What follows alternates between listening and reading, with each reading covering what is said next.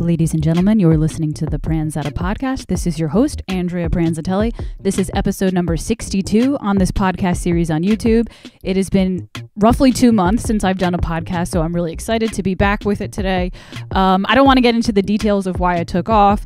Long story short, I had been dealing with a lot of personal stuff, mental stuff, financial stuff. I'm not one who likes to make excuses, so I don't think that's an excuse why I should have taken you know, two months or so to not film my podcast. But regardless, we are back and we're back into it. Um, I had a guest booked, but he the day we were supposed to record, he it was a comedian from New Jersey. His name is Steve. He's a really funny stand-up from New Jersey. He ended up having a scooter accident. He fell off his scooter um, and had to get emergency X-rays that day. So he's going to be coming this week instead. So I'm going to be doing like an impromptu solo session because I was, you know, like I said, really excited to get back into the rhythm of everything. So I don't want to let that um, excuse me. But he'll be on this Thursday. We're going to record him and we can roast him for his ridiculous a- accident and, um, you know, talk about that on the podcast.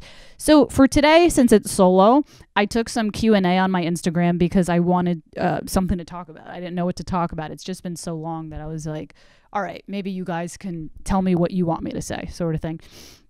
So I picked five questions. I just want to say first in advance that if you asked me a question and I don't use it today, because I got about roughly 10 questions and I'm only going to be using five, um, I'm going to be saving those questions to share with my guest this Thursday, you know, the comedian who had the scooter accident. So just stay tuned. Don't feel like you didn't ask a good question. It was just that I didn't think I would have enough time to get through 10 questions because I tend to ramble on when I uh, answer these questions. So I was like, let's do five solo today. And then this Thursday, I'll share some of those questions with my guests in particular, in particularly the ones that are related to comedy. Okay. So here we go. Let's get right into it first question is from my good friend Sean McCracken.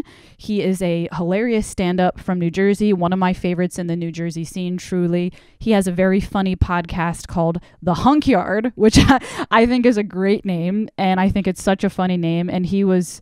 He was profoundly hurt when I um, made fun of the name because he was like, "Hey, is it funny? Because I'm not really a hunk," which um, I think that's funny.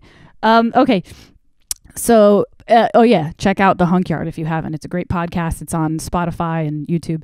So, Sean McCracken asks me, and I love this question, which is why I put it first because it was the question that I truly had to put the most thought into. Um, and it was the question that I think says a lot about me as a human being, probably. Um, so his question is Would you uh, fuck, marry, or kill? And the three people are Joe Rogan, Lex Fridman, and Jason Momoa. let me repeat that again. Fuck marry Kill. Joe Rogan, Lex Fridman, or Jason Momoa? I think this was a great question for him to ask for multiple reasons. First of all, he knows I love Joe Rogan and I love Lex Fridman, and he also probably knows that Jason Momoa is super hot. So, the one that I was going to kill was really easy for me to answer. First of all, let me get my iced coffee. It looks really good. Hold on. Okay. The person I would kill, very easy to answer for me, would be Jason Momoa. While he, that's probably a surprise for most people because he definitely is the most attractive one on this list. Um, the reason I would kill him is because I didn't even know who he was before I researched him to answer this question. And I'm not even st- sure if I still know who he is. I think he is a character on Game of Thrones. First of all, I didn't watch Game of Thrones. I don't care to watch it. I never got into it. So for me, that was an easy answer. So I would kill him because I don't care about him. I have no attachment to him whatsoever. He's hot. So first of all, when I when I was saying in the in the um, beginning, I feel like this says a lot about me as a person. So I feel like right off the bat, it says that who I choose to marry or fuck doesn't have anything to do with the way they look, which I think is interesting.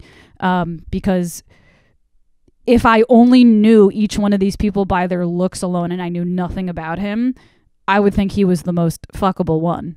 But because I have an attachment to Joe Rogan and Lex Fridman both, uh, I would easily kill that guy. So that said something about me. I felt, uh, which I thought was interesting. Now, what do we have left? We have who would you fuck and who would you marry between Joe Rogan and Lex Fridman. That was really hard for me to answer, and I actually had to genuinely put a lot of thought into it. Um, and I think again, this is going to speak a lot about my character. It's going to say, well, what's more important to me, somebody's personality or money, when choosing to marry or fuck, you know? So after some heavy thought into this, I decided I would marry Joe Rogan and fuck Lex Fridman. Now, let me break this down. The interesting thing about this is that I don't find I don't find Joe Rogan sexually attractive to me. I love him. He's you know my biggest inspiration as far as podcasters go. Not com- i mean no offense but not comedy. He's he's he's not my favorite stand-up comedian. That's not why he's a big inspiration to me. But as a podcaster he's probably my biggest inspiration. And lex fridman might be number two on that list of um, podcaster inspirations along with whitney cummings. Um, she's also a big podcast inspiration for me. Um, but I don't have any sexual attraction towards Joe Rogan. I never looked up to him as um, somebody that I thought was hot or anything like that. Not that he's not an attractive guy. I don't think he's an unattractive guy either.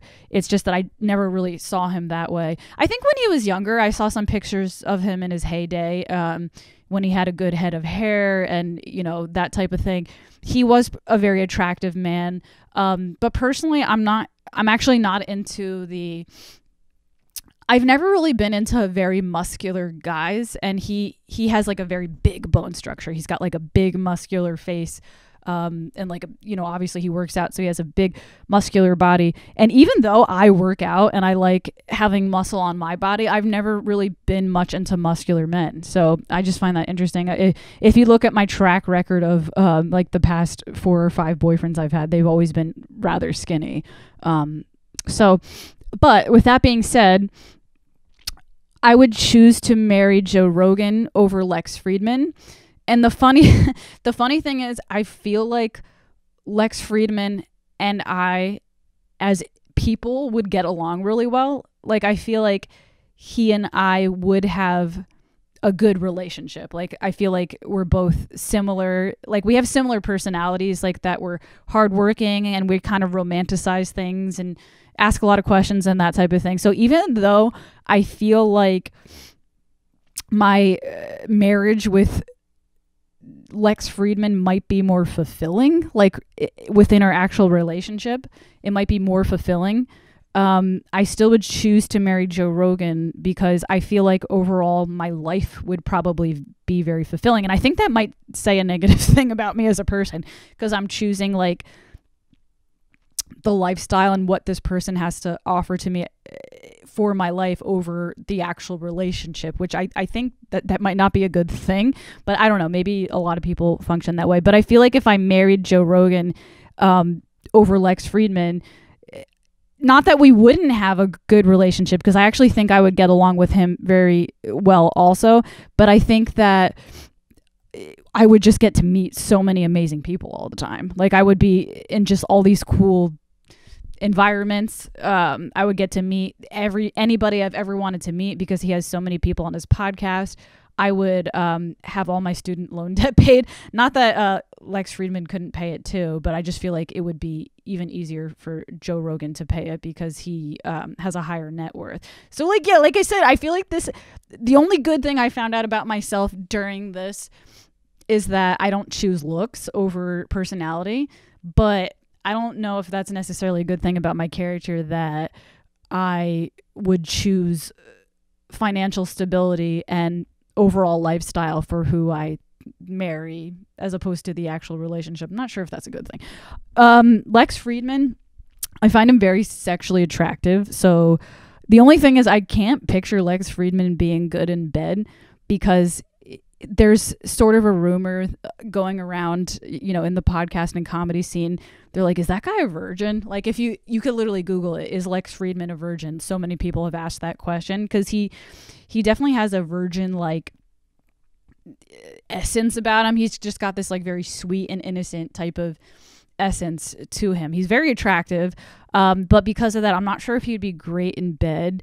But I could almost like fetish. I could almost like see myself feti- fetish fetish fetishizing that. I don't know if that's the right word.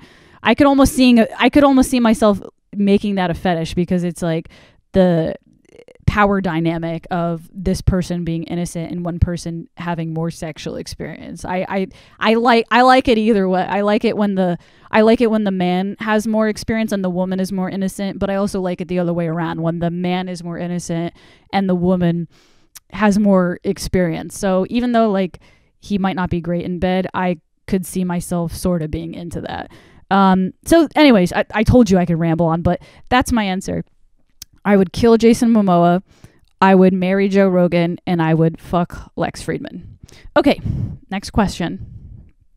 My friend R.Sen the Poet, amazing poet. She has her own book published. She was on my podcast. Um, check her out on Instagram, R.Sen the Poet. I'll include, by the way, anyone who I call out, I'll include their information in the uh, the bio below if you want to check them out. So R.Sen the Poet asks me, and I like this question if money was unlimited, what would you want out of life? I'm going to repeat the question. If money was unlimited, what would you want out of life? Um, I've already kind of thought about this in the past, but so it was easy for me to answer. For one, I would pay all of my debt, my student loan debt, and everything else like that. And I would also pay all the debts of, I'm not going to name names, but certain people in my family. Um, uh, you know, certain people that I'm very close with in my family that I feel like have struggled financially but are very good people and don't deserve it, you know. So I would definitely pay my debts and fa- some family members' debts off um, to try to help them. That would be the first thing I would do. As far as what would I do with that money in the bigger picture, it's always been a dream. I don't think it's okay. I don't think it's possible for every I don't think it's possible for everybody to contribute to every single type of cause. So I can't see myself donating to everything in the world. Like there I feel like there's only so much even if you had endless even if you had an unlimited amount of money, you don't have an unlimited amount of energy in your body. So there's really only so much you can get yourself into or get yourself involved with. So I feel like for me personally, I would choose a cause. I would pick a cause and stick with it. And I feel like the two biggest causes for me um, that I would want to donate to or or contribute to in some type of way would be one student loan debt, um, and two cats. So, um, I think I would. I don't really even know how I would go about doing it, but I would somehow donate. Um, to some type of organization to try to cancel student loan debt, or maybe I would uh, have some type of charity for like you know, I would maybe start some type of my own organization where certain people send in their stories about um, how they got in student loan debt and how it's been affecting them. And maybe you know certain people I would pay off their student loan debt. You know I would I would just somehow I don't even know how but I would find a way to contribute towards that cause. And then the second thing I would do is I love cats so much. And I obviously I have cats of my own um, I there's a lot of stray cats in the neighborhood that I live in, so I'm always taking care of them. There's a lot of stray cats in the world, especially in New Jersey and all over the place. And a lot of them, there's not enough homes for those cats. So a lot of them end up, you know, they don't get the health care that they need. And they end up, uh, you know, getting sick and dying, uh, you know, homeless. And they don't, they have to struggle through the winters and hurricanes and stuff like that. So I think I would uh, start some type of I would probably start some type of chain of cat cafes all over the country or cat shelters um, to take care of cats. You know what I mean? That would probably be because it's something I'm passionate about. Because, like I said, again, you can't, one person can't save the entire world, you know, but um, as long as you contribute towards the things that really mean something to you, you're more likely to make a difference in those areas because it really means something to you and you'll kind of know, I think you'll have more knowledge of what to do. So, that was my long answer. Short answer, uh, I would spend money on saving cats and I would spend money on sa- trying my best to save people with student loan debt and contribute towards the greater cause of trying to cancel student loan debt in whatever way I could.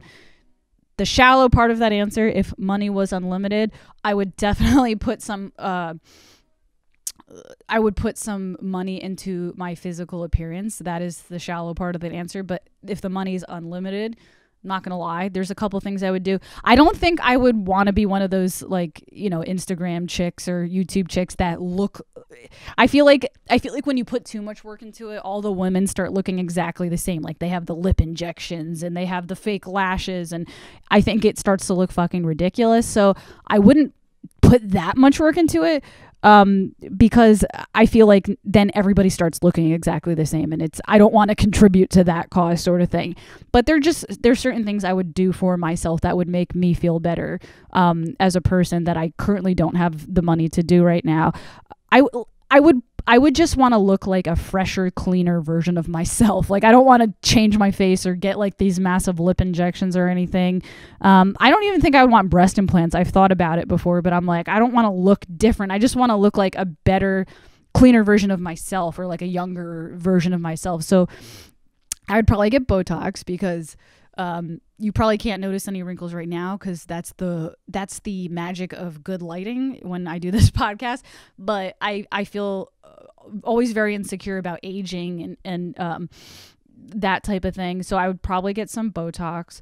Um, or like fillers on the parts that they can't because I, I don't know if anybody knows this but you know those like wrinkles that you get here laugh lines or whatever that are right here mine are pretty prominent you just can't really tell now because of the lighting um, apparently you can't get botox on those because what botox does is it freezes the muscles and you just won't be able to smile. Like i would just which i actually never smile anyways. Um but so i guess it wouldn't really be that big of a deal but they they only you can't get botox on these wrinkles right here. You can only get filler. So i if i had unlimited money i would get filler on these things and i would get botox on those and on those um, that would be the first thing I would do with the unlimited money, aside from the actual good things like the charity things.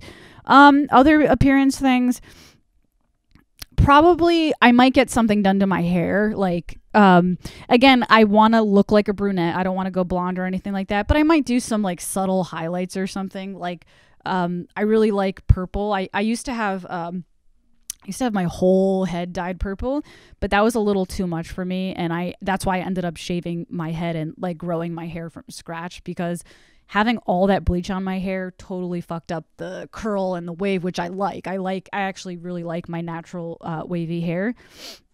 So I think I would do something to my hair where it was like just very subtle like purple highlights as opposed to my whole head. That way, you know, I still maintain the integrity of my waves and you know my natural like thick hair uh, but also having a little something. So again that's something i i could get close to affording right now but that shit's expensive. Getting those highlights and going to a place that will actually do it well it, it could be like easily three to four hundred dollars and then you have to maintain it after that. Like you have to keep getting it done or it starts to turn like orange and you know shit like that. So okay botox uh, that I think the only other things I might get done would be um, I have pretty thick brows, but I have I still have to get like a pencil in them. I still have to pencil them to to like fill out certain spots that look kind of bald over years of plucking them and stuff like that from when when really thin eyebrows were popular in the 90s. So luckily like right now thick eyebrows are more trendy. Luckily I already have pretty naturally thick eyebrows, but like I said there's just some bald spots over, you know, those uh, plucking that I did, you know, in the 90s. And um I think I might get that uh, what do you call it? Uh not threading I don't remember what it's called, but you guys know what I'm talking about when you get that like cosmetic eyebrow fill in stuff. Um, I th- I heard before that apparently uh, it doesn't always work for people. If you have greasy skin, it won't stay on very long, and it may not be worth it. And I have a weird feeling that I might be one of those people who has that problem because I tend to have like oily, you know, greasy skin. So I feel like I might get it done and then it would just come off anyways. But it would be worth a shot to see if it worked for me because it would be nice to like not have to pencil in my eyebrows. Um, and then the last thing I would probably do appearance wise, maybe, I'm not sure. I think I would just try it once. I think I would try to get um, lash extensions, but the very subtle ones. I can't stand the crazy ones. I think they look ridiculous. Um, but I would get the subtle ones, like just really, you know, because I think it would be nice to just wake up and not do any makeup. Like my eyebrows are done, my uh, my uh, lashes are already long, and my skin is like perfectly tight. So I just like wake up and go. You know what I mean? Like I like my natural hair. You know, um, so I think I would do those things to my appearance. I'm not gonna lie. Um, but I wouldn't go nuts. Like I'm not gonna get surgeries and stuff like that. So I would do that. Um, I think that's really it. I, I think I've covered everything like paying off the debts of myself and people I care about, contributing to charity, um, taking care of some beauty things that I've always dreamed of taking care of. I just don't have the money to do. And then that's really it. And then besides that, just travel and eat well, you know, just enjoy my life, you know, record music, everything like that. There's just, there is a lot I would that would free up my life if I had unlimited money, you know but I could go on for hours about that. So I kind of named the things that were probably the top things, you know. Um okay, next. Question number 3. I only have 5 questions. So here's question number 3. The next question is from Patrick Haggerty Comedy. He is a stand-up comedian from New York City. He performs in New York and New Jersey. He is a big part of the comedy fight club thing that I per, uh, participate in, where I do roast battles. He is usually on that team, whether he's doing the roasting or doing the judging. He's usually always at those shows. He he performs at them, does like stand up acts in the middle. I'll also include his information below. Patrick asks me what do you like about chess? so, the reason he asks this is because I just recently got into chess. Disclaimer I am terrible at it. I am not good at it. So, don't think I'm this smart bitch that I'm really good at chess. I'm not. I'm really bad at it.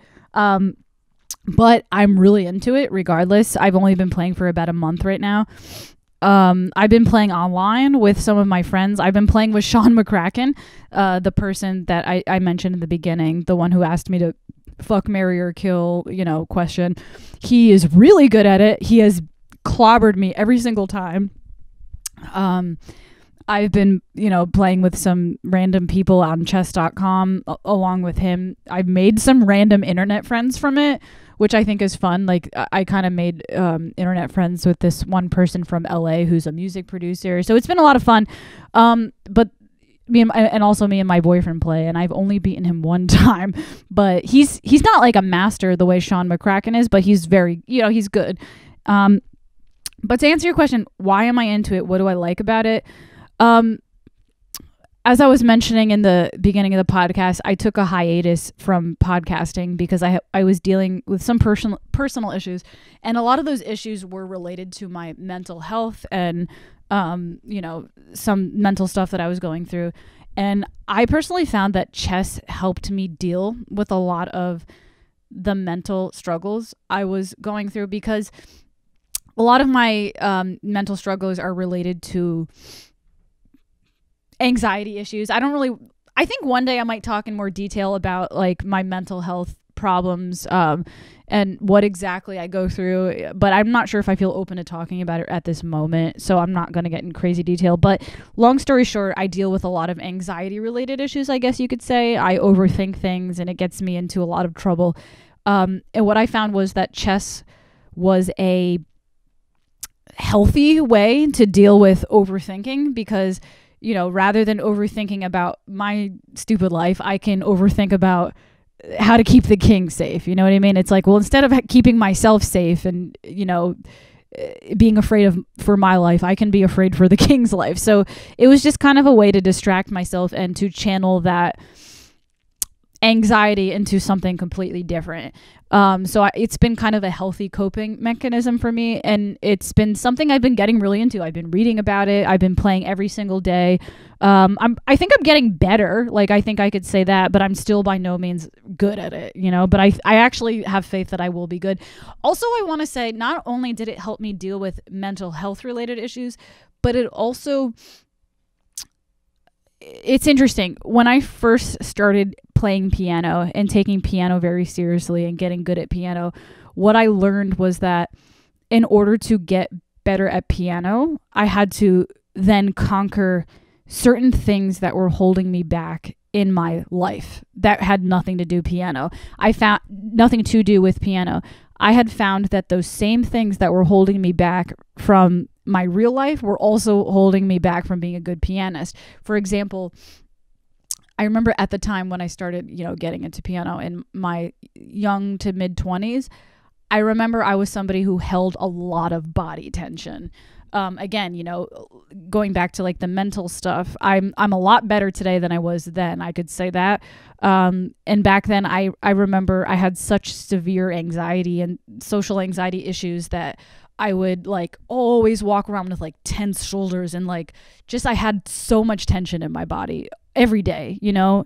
Um, which was wasn't a good thing. It was I I had developed chronic pain and like chronic back pain and I'm almost positive it was um you know my mind related to my body, you know that mind body connection and I remember I had developed a piano injury because of this tension in my body.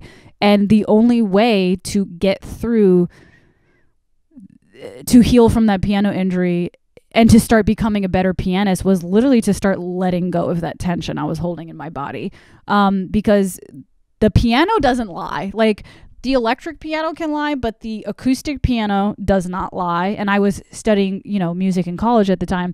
Um, if you have tension in your body, that piano will sound ugly, you know? And in, in an electric piano, that's not necessarily the case because no matter which way you touch it, it's electric. It's going to come out the same. But the, that's what's beautiful at, about the acoustic piano. It, it, it, whatever you're feeling comes out of that thing. And, and there's no, you can't hide it. There's no lying about it. It's very exposing. And because I was holding so much tension, um, the, the music I was playing just sounded very tense and it didn't sound beautiful. So, in order to get through that hump in my life, I had to release a lot of tension in my body, you know? And I'm a lot I'm so much better of a piano player today because of that, uh, you know, going through that. Now, chess, I'm starting to notice that a lot of the issues that hold me back in my life today are what are what uh, is what is holding me back from being a better chess uh, better chess player. So for example, I don't know if I said that right. I, I think what I meant to say was what's holding me back in my real life is what's holding me back in chess, just like the the piano example. Um, one thing that I struggle with in my real life is that I'm very impatient. I'm very impatient. I don't um I act really quickly and I don't really think about things um, in my life. Like I kind of just want to get to the next thing. You know, I'm, I'm, I move very quickly and I get angry and I get irritable if I don't get things quickly. And you can't do that in chess because, and I've made a lot of dumb mistakes be- because of that. Um, because I would see an opportunity and I'd be like, I'm going to do this. Like, and uh, what happens is you really need to, unless you're a master chess player and you're somebody who is a genius and you can actually see everything that quickly, like you can see the whole board and all the different possibilities that quickly that's a different story. But as a new chess player, you have to stop and think and you have to really take your time to observe everything around you.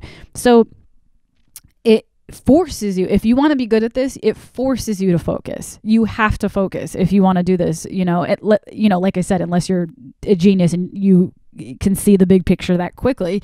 Um, if you're not a genius and you know you're just a regular idiot like me you have to um, you have to focus you know and i i struggle to focus. I i'm very impatient and i move too quickly. And um it's kind of training me and teaching me the art of focusing, which is why one of the big reasons why I like it. Also, the other element is that I don't in my real life I don't always see the big picture of things. And same thing same thing on the chessboard you have to think long term about things on the chessboard. You can't just see what's right in front of you. And I have that mistake. Like sometimes on the chessboard, there'll be a little, and if you don't play chess, it might be confusing to understand, but I feel like a lot of people have at least played chess once, so you can kind of follow what I'm saying. There could be something going on right in front of you that you could be dealing with on on the uh, the chessboard, and eh, you could be really engrossed in how do I, you know, how do I how do I get this horse to get this piece or this pawn or whatever, like right here in this corner of the board. But meanwhile, if you're not looking at the entire board, while you're doing all this little shit here, there could be a whole nother thing going on or a whole nother plan from your opponent. And I make that mistake all the time where I don't stop and look at the big picture. And that is something I struggle with in my real life too. A lot of times I just sort of I try to find the solution and I think it relates to impatience, but I try to find the solution for what's right in front of my face without really thinking like long term about it. Like, okay, this might be a good decision right now, but uh, let's think, you know, let's think about this four moves ahead. Let's think about this a few moves ahead.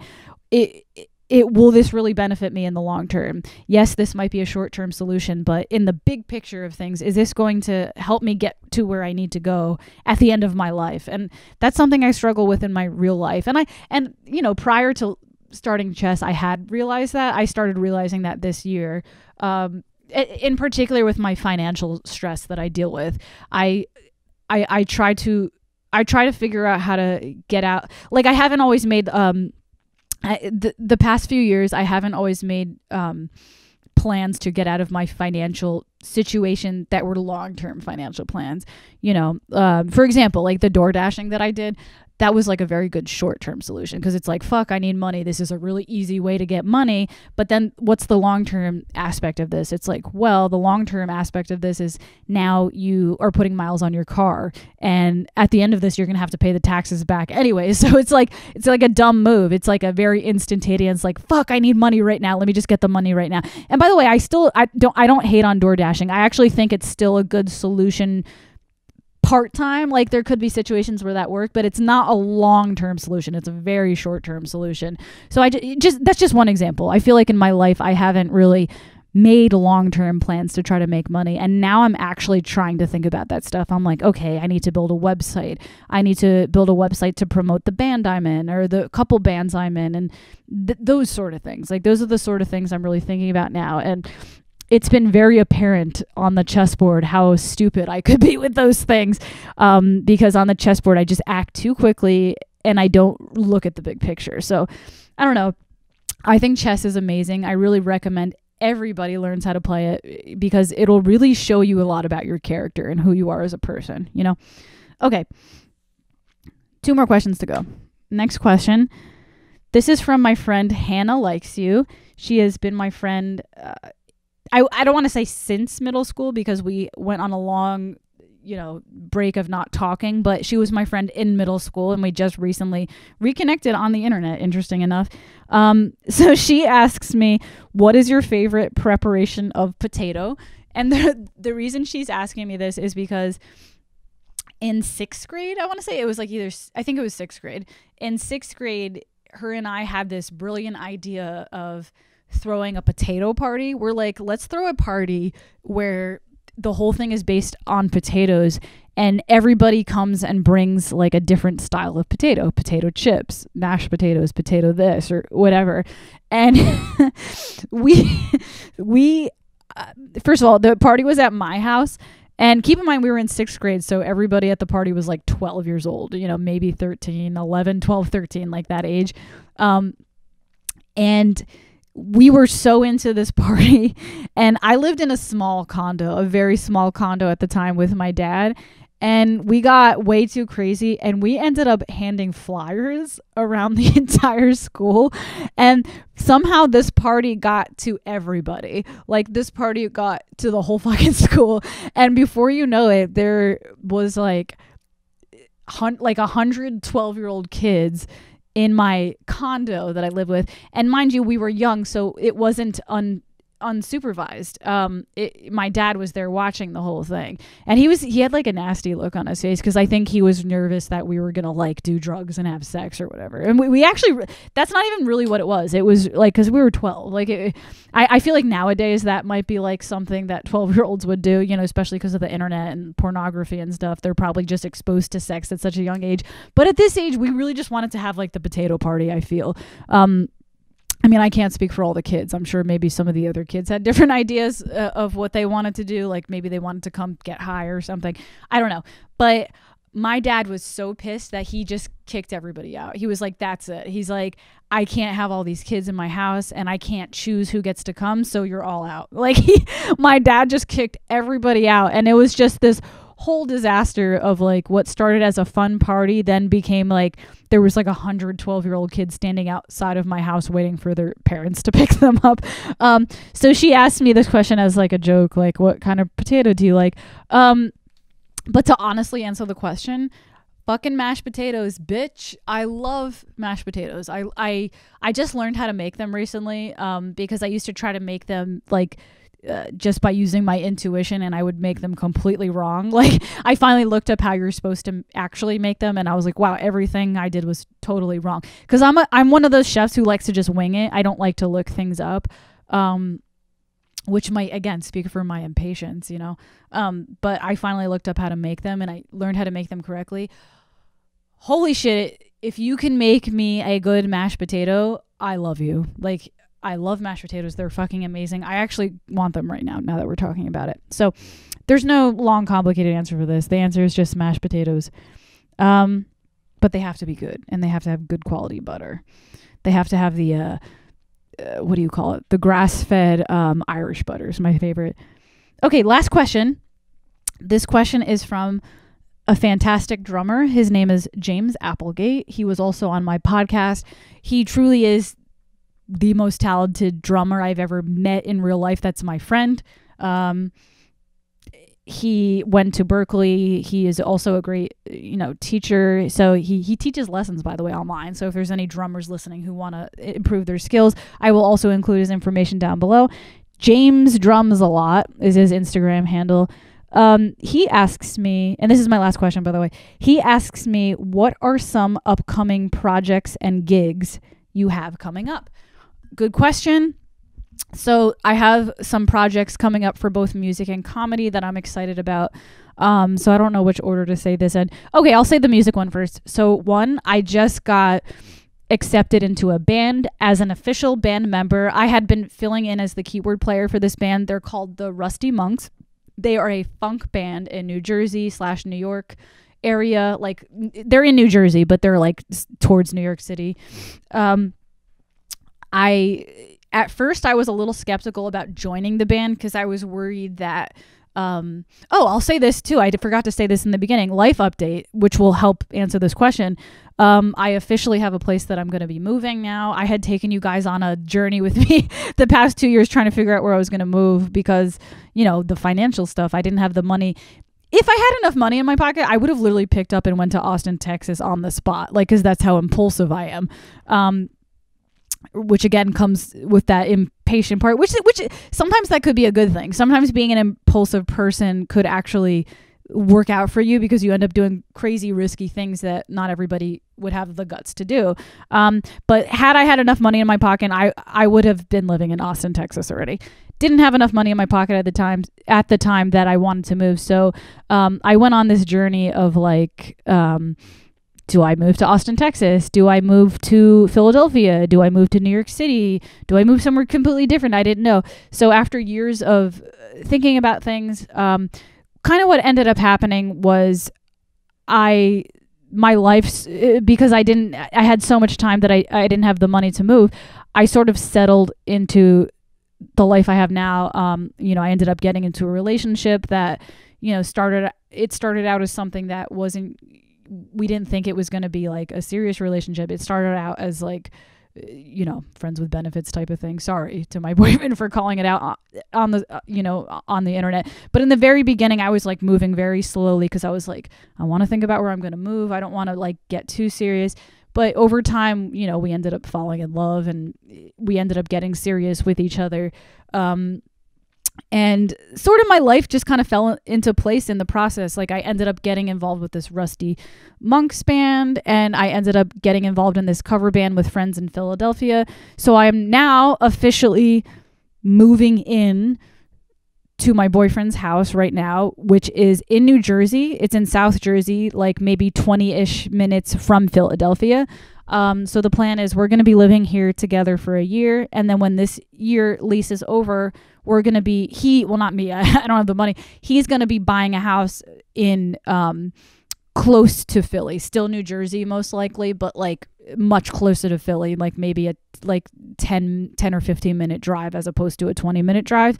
Um, and that's where I am now. And the whole reason I just brought that up, uh, not to get on a side tangent, is because I I forgot to bring it up in the beginning, but I wanted to tell you guys that um, that I finally have a life plan here with all that. And then, why does this apply to my question? The reason is because um, I had been asked to be part of this funk band, um, and you know I was a very good fit for the band, but I was afraid to join it because I have some other side projects going on, and I'm going to be living closer to Philly, so I was worried about getting too involved with somebody closer to New York when I'm living closer to Philly. Um, but I ended up deciding to join the band because I really just love the band. I, I love it. Like I love the set list. I love the music.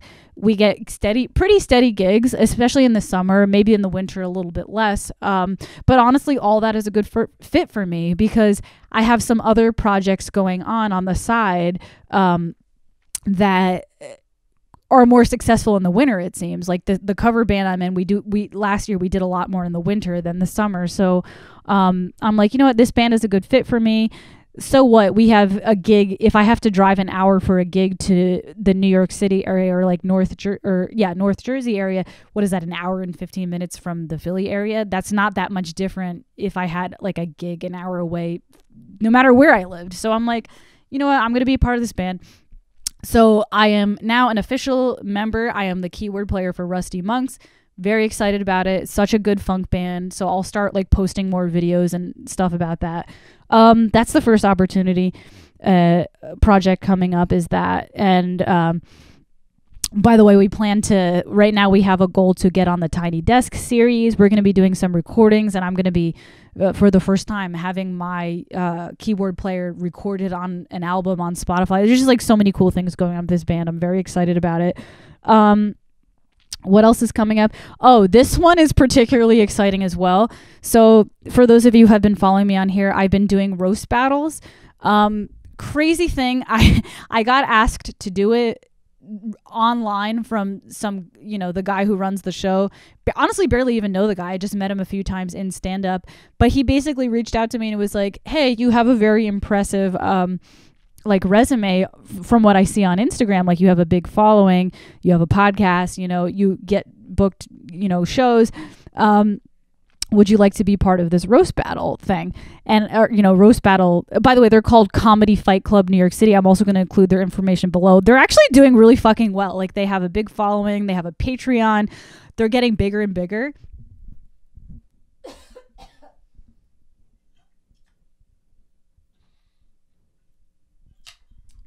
So I'm even more excited to be a member of their team and to be helping them out with their shows and everything. It just goes to show that collaboration really brings things further. Um, but so randomly got asked to do that. I had no idea that I would actually be, I think, pretty good at it because so far I've done five battles with them. The very first battle I did was with an amazing, with Sean McCracken, actually. He amazingly funny, really good at roasting. Um, I managed to keep up with him well enough that I tied with him and then I lost in the overtime joke. So it was very neck and neck for the five for we had to like do five jokes back and forth. It was very neck and neck and the audience couldn't decide what to do. So we went into overtime and then I ended up losing in overtime. So that was my first battle. The, then I did four more battles and I won all of those. So percentage wise, I've won 80% of the battles I participated in, I think, right? Is that, is that how that math works? Um, yeah, right? Five, no. Yeah, yeah, yeah. So 80%. Um, I think it's luck, to be honest. I, I do think there may have been actually two battles that I genuinely felt like my skills were good. Um, but I think in two other situations, the opponent just didn't do it. No offense, but the opponent just didn't have strong jokes. So I won just because I was better than them, but doesn't mean that my skills were that great.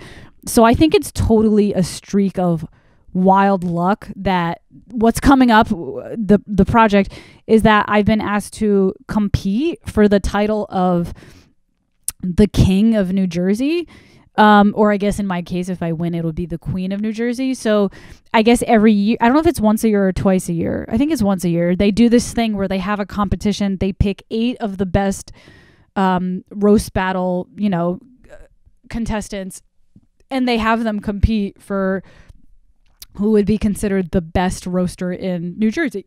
So I feel I'm like, how the fuck did I get chosen for this? And I, I really think it's, you know, it's because I've had a high percentage rate of success doing it. But like, like I said, I don't really think that speaks for my skills. I think that was just mostly luck, a little bit of skill, but mostly luck. So now this Wednesday, I'm actually going to post that probably tonight on my Instagram. It would really mean a lot to me if people would come out and support me for that. Even if I lose, just to see familiar faces there would really mean a lot to me because this is a big deal for me. I never imagined being invited to do something like this. So this literally this Wednesday, September, uh, I think it's the seventh, but whatever Wednesday that is, it's definitely on a Wednesday in Moores. No, no, not Morristown.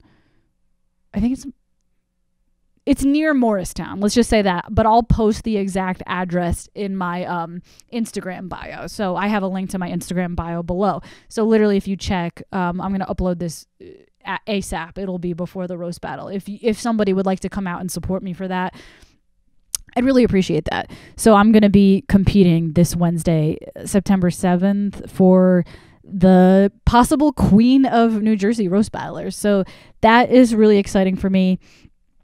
Um, it's it, like I said, it just blows my mind. I don't know how how that happened. I really think it's mostly luck. Um, anything else coming up, project or gig wise? Um, I think that's pretty much it. The band I just got invited in, the roast battle competition this Wednesday. Um, last year again i had been involved in this cover band that i had put together with a couple good friends um, in particular matt kerner who is an amazing you know musician just got married. He is a great guitar player songwriter. He's in a band called feeney. I will also include that below if you guys want to check that out. He's in a great band from new jersey called feeney. Um, he and I last year had co-started a band that we called Smoke Smoked Honey. It's a cover band from New Jersey. We had gotten some pretty decent gigs and then we kind of fell off the map because we all got busy during the summer, but we're going to be kick, you know, kicking that back into gear. I've been working on editing this video for us so we can promote ourselves and get more gig opportunities and we have a rehearsal coming up. So that's that's another project coming up that I'm really excited to get involved with. Um I can't I'm trying to think is there anything like notable coming up. I really think that those are the I would think those are the three things that really stick out in my mind right now. Um, being a member of of Rusty Monks, um, getting back together with Smoked Honey and kicking that back into gear and the roast battle competition. That's really it. So yeah, some exciting stuff and like I said the move coming up, I'll be moving into my boyfriend's house in South Jersey uh, November 1st. So I'll be trapped in my old apartment in central Jersey for two more months. And then the time's just flying right by. So it's going to go by really quickly. Um, so yeah, I've got a lot going on right now. And, uh, and I guess I should include this in the in in the answer too. I'm getting back to podcasting. So I don't want to make excuses anymore. That was way too long for me to not be podcasting, you know, to deal with life issues and stuff like that. But no more excuses. We're back. I that's why I was like, I don't care if my guest fell off a scooter. I have to do a solo podcast no matter what happens. Um, so this week it's just me. Next week you guys are going to see my guest Steven, the comedian from New Jersey, and we're going to ask him more about his, you know, accident and what the fuck happened. Um, and that's really it. Those are the questions I have for today. Just to reiterate, if you had asked me a question and yours wasn't included here, I am going, I promise I will be saving that for the guest and I'm going to share it with him. Because look, it took me almost an hour to answer these five questions. There would have been no way I could have answered all 10 questions um, in a decent amount of time. So I'll be saving those for my guest and we're going to be answering them together. So that should be a lot of fun. Um, that's going to be it for today. Pranzata Podcast, episode number 62. If you're into this podcast, um, and you enjoyed yourself, don't forget to hit like, don't forget to subscribe, don't forget to share all the stuff that I'm supposed to stay, say as a YouTuber to get attention or success or a following on here. All the things that I'm supposed to say, do those things.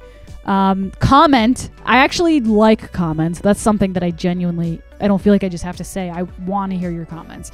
Um, that's it. Pranzata Podcast I hope you guys enjoyed yourself. Have a good day. Bye.